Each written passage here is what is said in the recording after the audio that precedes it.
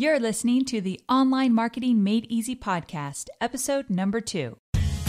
Welcome to the Online Marketing Made Easy podcast. Business advice so easy, you'll feel like you're cheating. And now, your host, Amy Porterfield.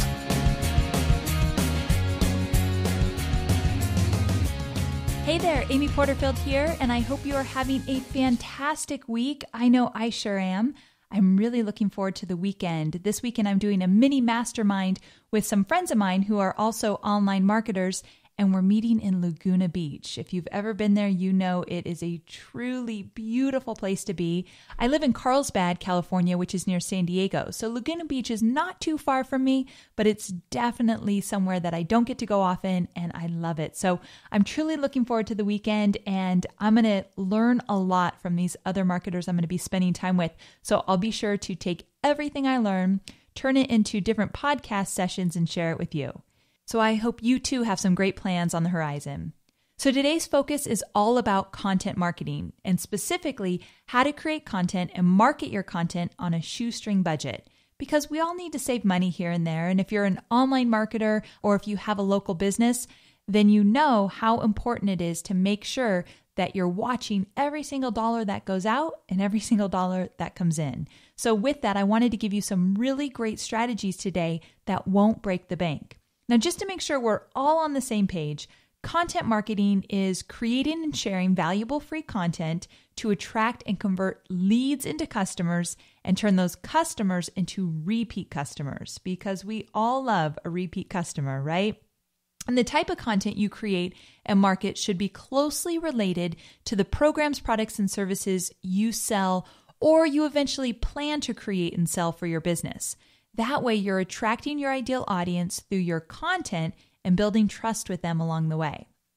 But consistently creating content and marketing content often proves to be a challenge for most of the people that I work with. Because we're all so busy, we often say, well, content marketing, it's a great thing and I know it's important, but it's something I'll get to when I actually have more time. But when do we ever really have more time? However, just like you make paying your bills or selling your programs, products, or services a necessity to keep your business alive and running, well, creating content also has to be a necessity. Because I always say few survive in today's fierce online world if you aren't continually creating and marketing unique content. So today I've got some strategies that will help you do just that. Now, when it comes to content, you have so many different opportunities. You can write a blog post, create a video clip, create an ebook, write a tweet or maybe a Facebook status update, create an image that you use on social media sites, or better yet, an infographic, or post a quote, or maybe create a checklist or a cheat sheet, even a PowerPoint or a keynote. All of that is content. The great thing is, you have so many unique opportunities to actually get your content out there without having to spend a lot of money to do so. Now, I want you to answer a question for me. Is your current content extremely useful to your ideal audience? Now, before you answer that, because most of us want to say, yeah, of course, sure, right away. But I really want you to go back after this podcast and look at, let's say, the last five pieces of your content and really ask yourself, am I writing content that people are truly, genuinely interested in reading? You have to make sure that you're not writing content for you, but you're writing for your ideal audience. So you got to get really clear on who that ideal audience is. And usually, if it's great content, I always say this, but you're either entertaining, educating, or empowering. And most of the time, you're solving a problem, you're making someone's life easier, or you're doing something to get them to take action. And I can tell you this if your content's good and people read it or consume it and they take action, you've got a fan for life and you're set up to turn those fans into customers. So, getting your fans to take action and they actually see real results is really what you want to happen with your content. Now, let me give you a great example of really useful content. There is an app called Clean Bathroom App. And this app you can use no matter where you're at. It will tell you where the closest clean bathroom is. Because we've all been in that situation where we walk into a bathroom and we pretty much want to throw up. So instead of going down that road, you want to use this clean bathroom app to make sure you find the closest clean bathroom in your area. So those germaphobes, they love this app. But pretty much anyone that doesn't want a disgusting situation could find this app useful. But here's the cool thing guess who created that app? Charmin, one of the leading toilet paper brands. Genius, right? So, chances are, if you've used this app and it's helped you out in situations, the next time you're in the store buying toilet paper, you're probably going to think about Charmin. Or when you see Charmin on the shelves, you'll have an affinity with that brand because they've taken care of you in other situations. They've helped you, they've given you results. So, talk about useful content. That's exactly what I mean. Create something, no matter what it is an app, an ebook, a blog post that will help your viewers or your audience, help them actually get real results. There's so many different ways to get results. So, this example here, one of the results is you don't walk into a disgusting bathroom. That's a great result if you ask me. Think in terms of how are you going to make their lives easier, better, more fulfilling? You really need to step back, look at your audience, figure out what they need, what are their pain points, create content around that, and just make sure that your content is continually delivering fantastic value. Now, I don't know about you, but I know I've been in situations before where I basically just draw a blank. I can't even think of the next thing I want to create for my content. And I'm continually creating brand new content to make sure that my audience gets exposed to new ideas and new strategies and new tips. But sometimes I get a little stuck. So I'm constantly looking for new ways to create content. So, I'm going to give you some tips to make sure that you're never stuck trying to think about content to create. But before I do that, I want to remind you of something very important. Now, I'm going to give you some tips to help you brainstorm some great content ideas so you'll never ever again say, I don't know what to write about or I don't know what to create. But before I get there, I want to talk about relevance because when you're creating content, I want you to remember that you can't be everything to everyone. So, what's engaging or valuable or shareable or even irresistible to your readers may not be all or any of those things to someone else's audience. So, in other words, relevance is completely relative. So, the first step toward achieving relevance for your content is not how do I create content that everyone's going to love, but how do I hit the right areas and deliver the essentials my audience wants. So when you figure that out, you can be sure that every time you put out unique content, it's going to be relevant with your ideal audience. Don't try to please everybody, just focus on your ideal audience. So, some ideas to help you create stellar content and never again think, I don't know what the heck I'm going to create or write about. The first tip I have for you is to develop a list of the top 25 questions that come from your fans, followers, prospects, and customers. So, what are people asking you? Turn that into content. Turn it into ebooks, blog posts, short video clips, whatever works for you. Even a Facebook post with a Q&A included in that Facebook post. That is content. But here's the deal. I know a lot of you listening are brand new to your business. You're just starting out. You don't necessarily have tons and tons of people emailing you or posting on your Facebook page a bunch of questions for you to answer. So, if that's the case, I want you to go to your competitor's Facebook page and I want you to find out what people are asking them, or go to their Twitter account. Go to their social media sites. Your competitors are people that have an audience that is aligned with yours and find out what people are talking about there. That will help you figure out what types of questions you should be answering. You'll learn the pain points of your ideal audience, and then you want to turn those pain points into solutions. Now, another way I always get some great ideas for my content is to search YouTube. So, in YouTube, the search box, if you start typing in a few words, it will actually show a list of all the other things related to what you're typing in that other people have typed in as well. So for me, I might type in list building, and then all of a sudden there's this list that pops up where it will say list building for entrepreneurs or how to build your list via social media or whatever it might be. There's all these different things people have searched for in terms of list building. So now I've got even more ideas beyond just that initial idea I was thinking about.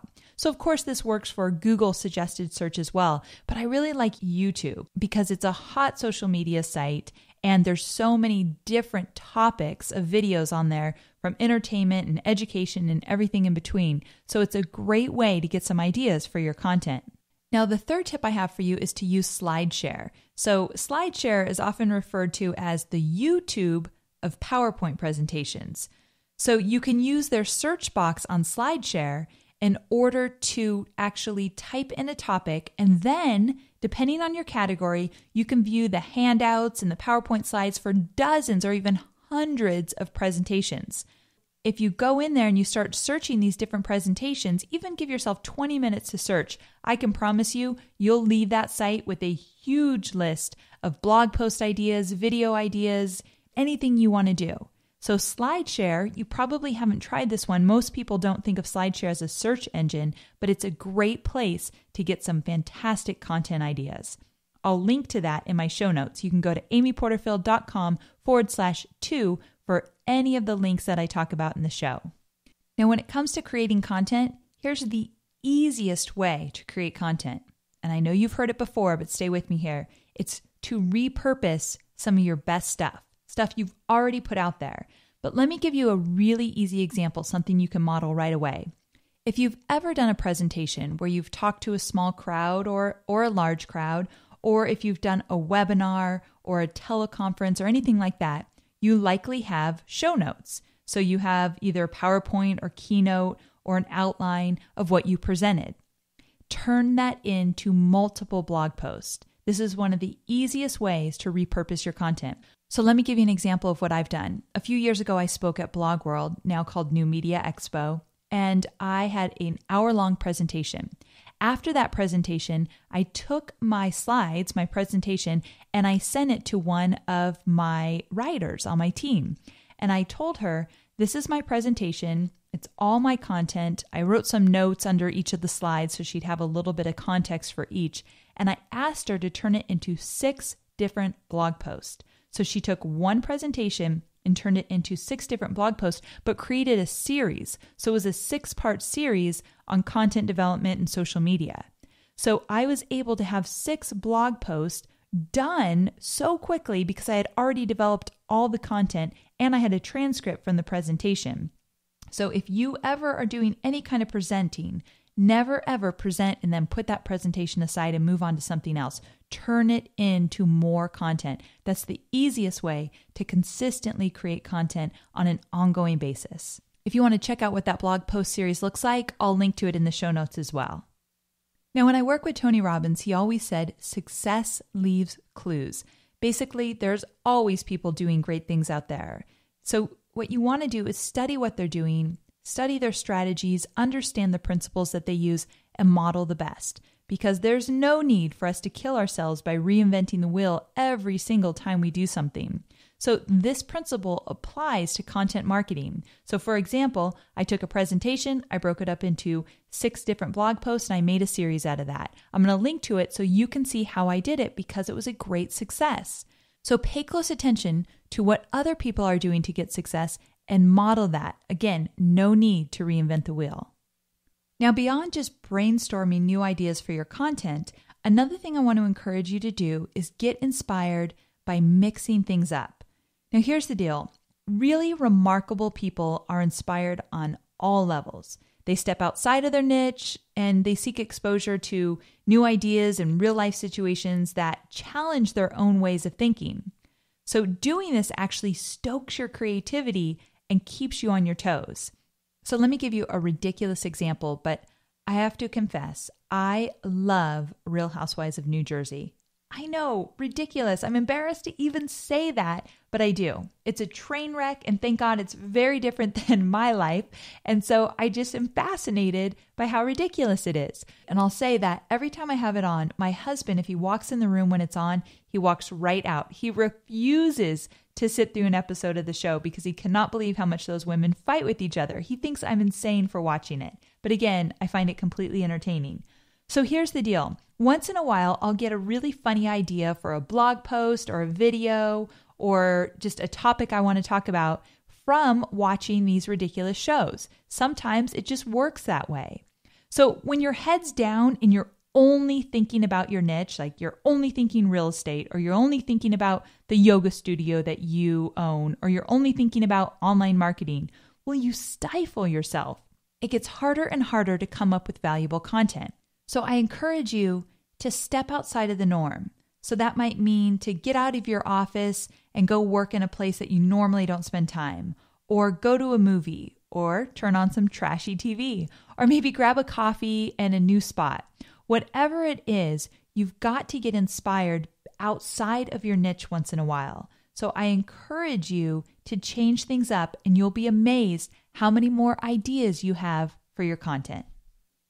Now, the next content marketing tip I have for you is to become a ninja outsourcer. Because when it comes to content development and content marketing, you cannot do it all yourself. There's just no way.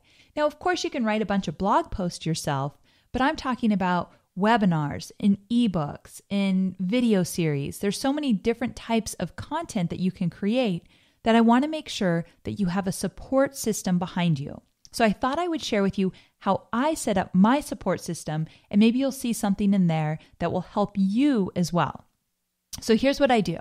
When it comes to content, I know that I'm going to need a writer, a designer, and a programmer.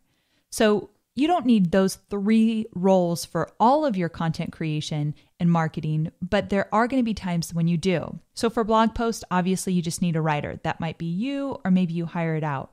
But for, let's say, the webinars I do, I know I'm going to need a writer.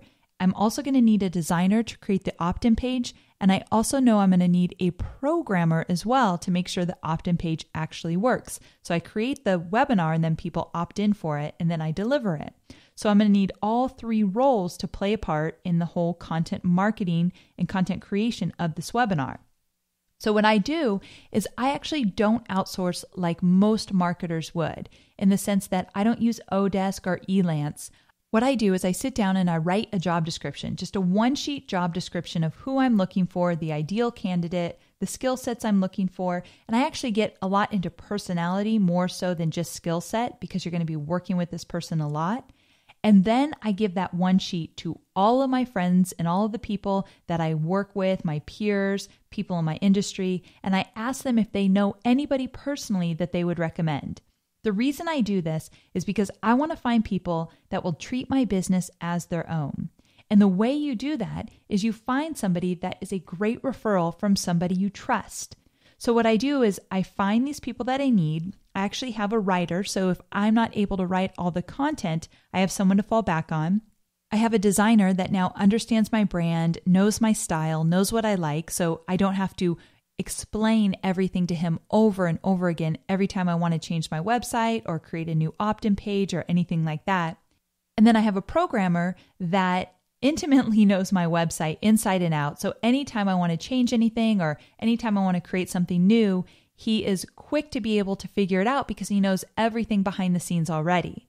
So, my point is that I find who I like and I continue to use them. I don't put them on a payroll. I'm not paying them every single month. I'm paying them per project, but I use them regularly so that they also have a relationship with me and they know I'm going to take care of them. I respect their work. I appreciate everything they do. So we have this great relationship.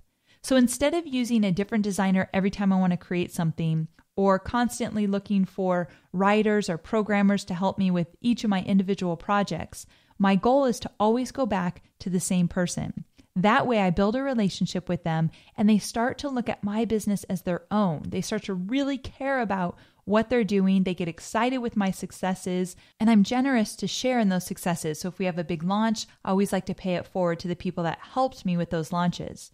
So I tell you this for two reasons. One, again, no need to reinvent the wheel every time you want to create content. Find the people that you really love to work with and that do a great job and keep going back to those same people. And if you want to take it one step further, you can do what I've recently done with one of my writers, who now I have her on a very consistent schedule. I do a lot of writing for products, programs, guest blog posting, my own blog, video scripts. I mean, there's just a lot in the works. So I can't possibly do it all myself. So I use Lindsay. So I have Lindsay to fall back on when needed. And I actually have her on a content schedule. So we have a content calendar, and I'll talk about those content calendars in a minute because those are important. But I have a content calendar where I have assigned tasks to her and she knows what's coming down the pipeline. So I don't have her on payroll. However, the workload is really consistent, so she knows what to expect from me and when the due dates are. So I'm not scrambling at the last minute.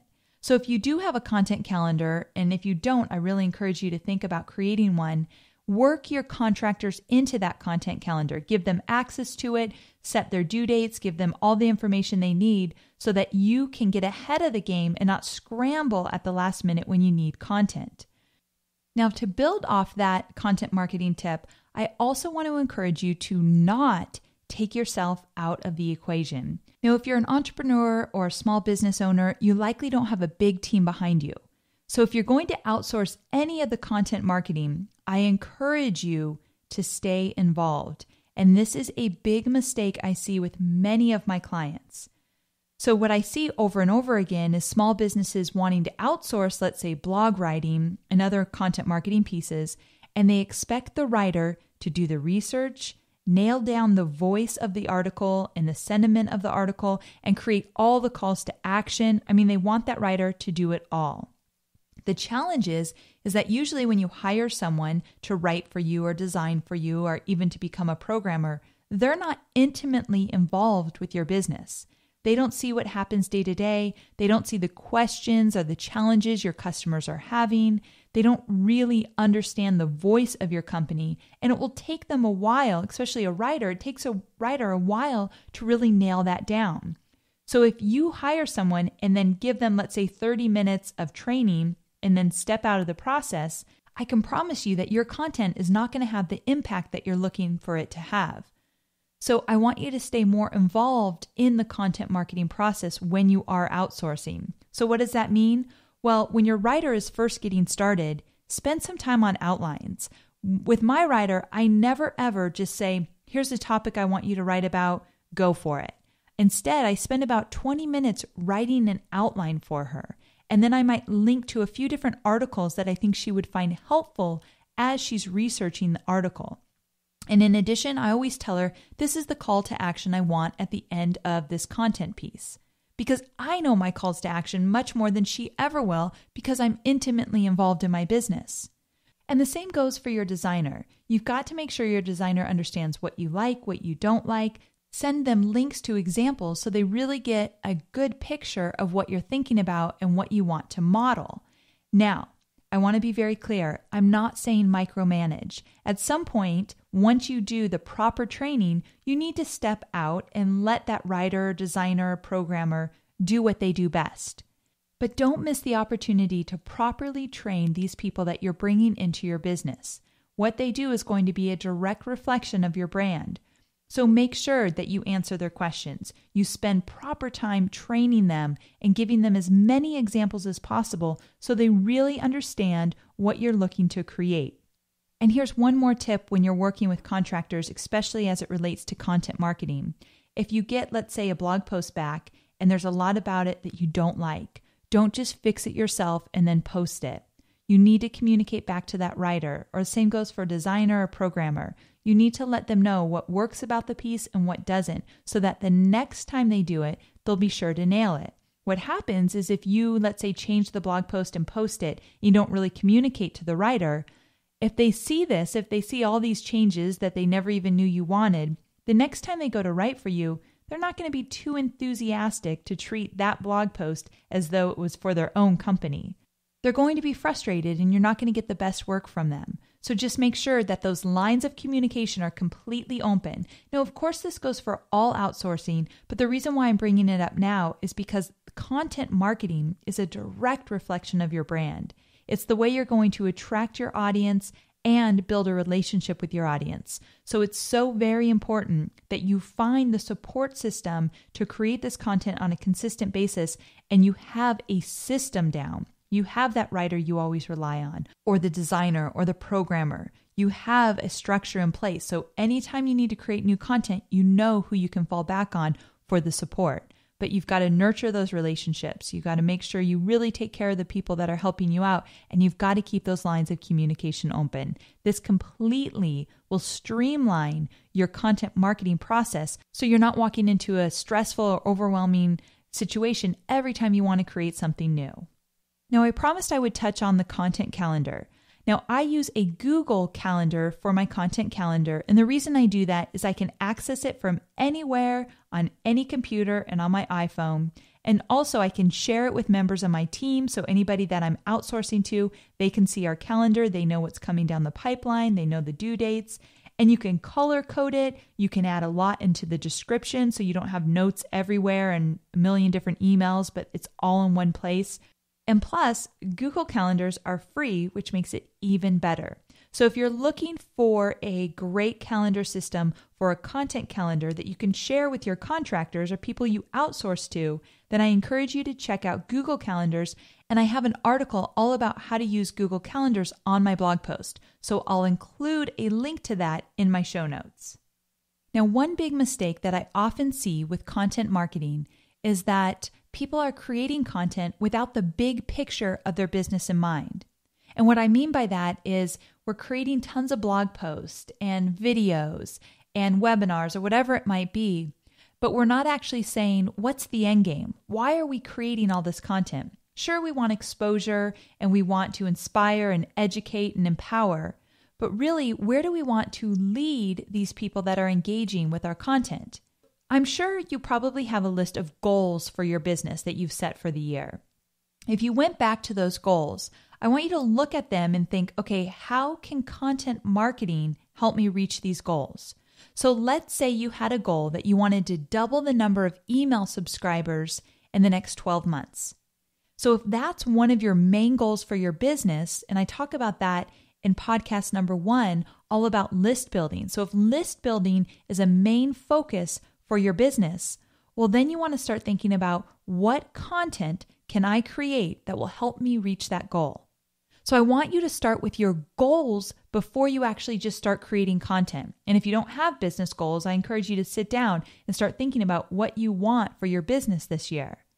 And then from those goals, let's say you have two, three, four top goals, I want you to think about the content that would be best to create to help you reach those goals. Creating content without business goals in mind is a huge waste of time. So I encourage you to step back a bit, look at that, those goals, and then from there decide on which content you need to create in order to meet those goals for your year. So, to wrap up the podcast, I thought I would get a little tactical with you and give you some content creation tips and content marketing tips because we've talked big picture in this session today, but I also want to make sure for those of you that really like the how to and how to implement, I want to give you some really solid tips to do so. So, three action items when we're talking content creation. First, I already talked about it, but I want to really stress get a solid team behind you. So, anytime that you need to create content, you know that there's a writer you can go to, a designer, and a programmer. And why is that so important? Because a lot of us, when we have ideas, we instantly think because we're stressed out, but how will I pull that off due to my lack of time or lack of resources? So you think, oh, I've got this great idea. But then the next thought is, well, how am I going to do that? I have a million other things I need to get done. So not having a team behind you will stifle your creativity. So if you're going to take action, I encourage you to get those resources in place so you don't put out that spark when it comes to your creativity. Another tip I have for you is always keep a running list of thoughts, ideas, and examples. So, this will allow you to have a place to go to anytime you need to create new content. Remember, of course, you're going to look at the big goals first, but then go to this running list that you keep handy so that now you have all these ideas to pull from when you're ready to create content. And one other thing I do to make sure that I always have great examples is that I take a lot of screen grabs or screen captures from my computer. I use a tool called Snagit. I'll link to it in the show notes. And Snagit allows me to use my keyboard to take a quick snapshot of whatever I see on my computer screen. Now, remember, I said model the best, find out who's doing it right, give your designer, your writer, your programmer examples of what you love and what you want to model. Well, anytime you see someone doing something fantastic, anytime you see something that you love, or maybe anytime you see something that you definitely do not want to do, take a quick screen grab of it so that you can go back to it.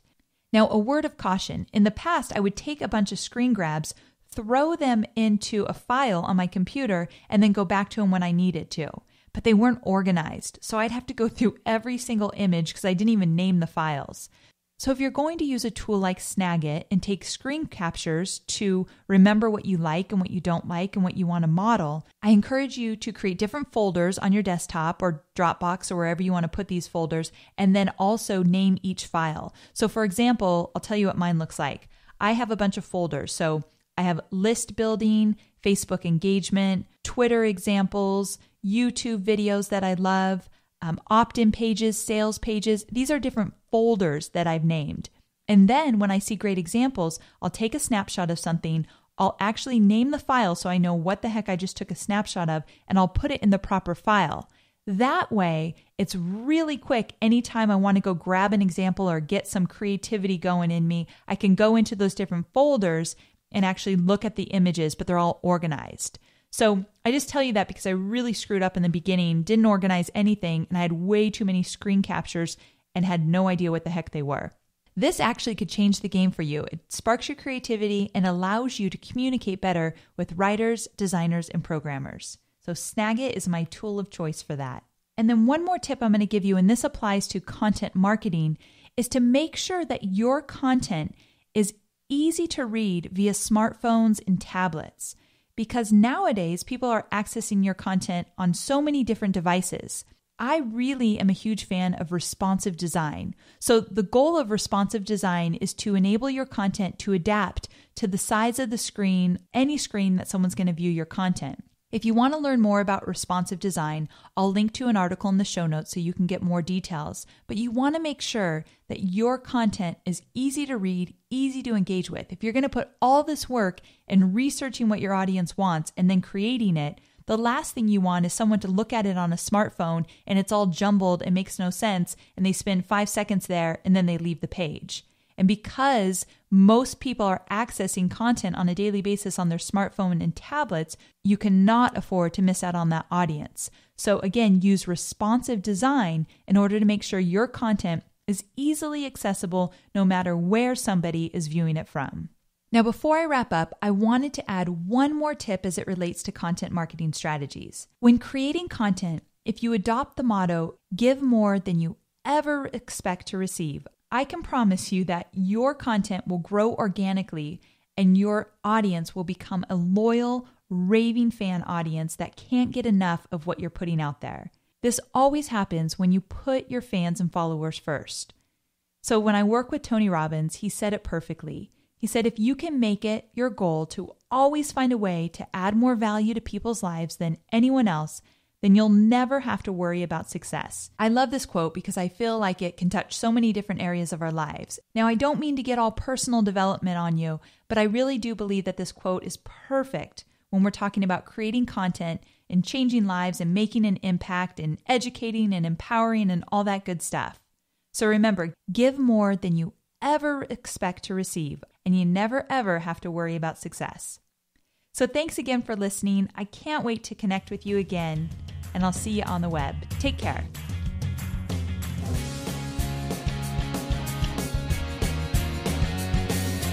Thanks for listening to the Online Marketing Made Easy podcast at www.amyporterfield.com.